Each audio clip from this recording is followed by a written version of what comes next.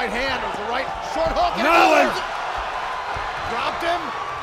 Thad Jean on the front headlock. Oh. Now the ground and pound. Wow. Unloading from the top position. Big oh, shots. Wow. Shot. That's over. Yeah.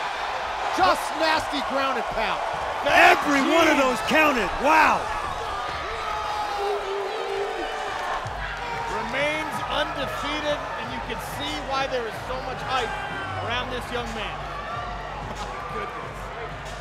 I mean, listen, Ali Omar is not a small welterweight, but Thad Jean just seems like he's in a different weight class to your point earlier about his size, Sean.